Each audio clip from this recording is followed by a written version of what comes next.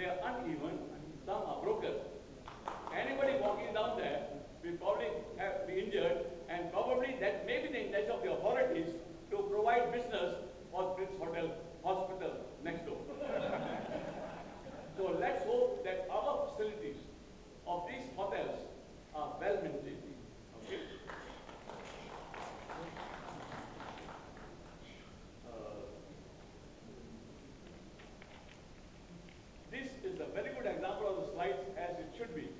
We can see it, we can read it. I hope you will change in the Damansara Pinta Hotel down there, where we could neither see